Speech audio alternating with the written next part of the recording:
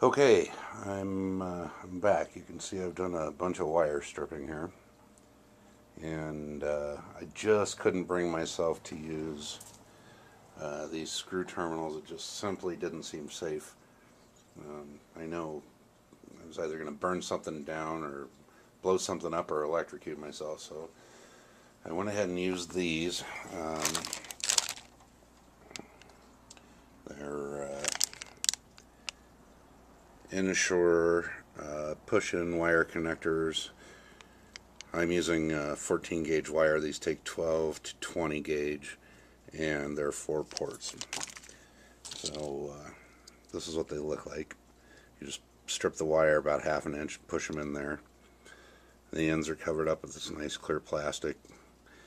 Um, and then to make a solid bus, uh, I just you know, you just put a couple of wires in and then jumper them from one. So you you lose two.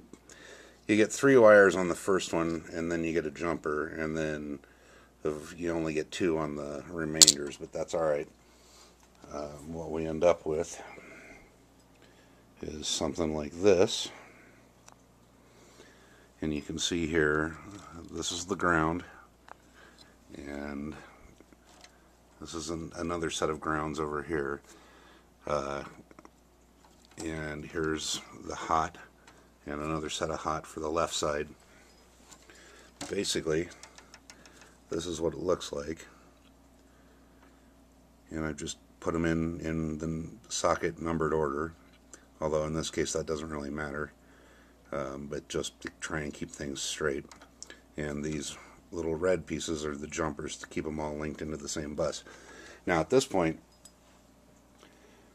I'm trying to decide, since your common uh, household uh, circuit breaker will only take 15 amps, and I don't think I'm ever going to be pulling more than that um, with uh, the st strings of lights that I'm talking about controlling, but I'm considering the reason I haven't wired this side to this side, although I still have that opportunity because I have two ports open. I could jumper from here over to this side and then still uh, bring the ground in on that one and do the same thing over here and bring the hot in on that one.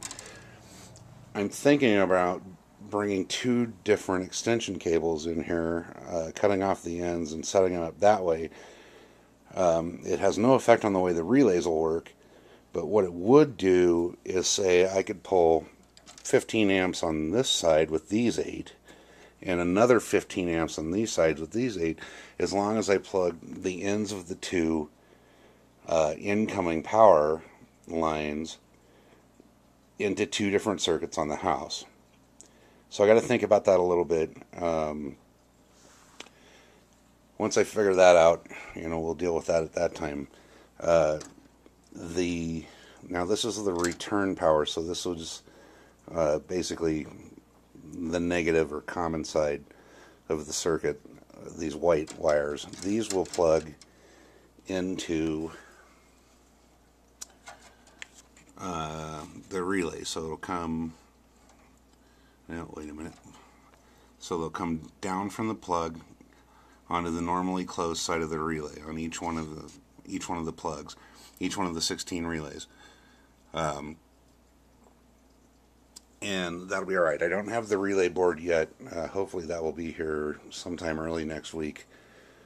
Uh, that'd be four or five days. It's going to be kind of hard to wait around, but in the meantime, maybe I can work on some of the software and getting the uh, Arduino connected, uh, some of that written.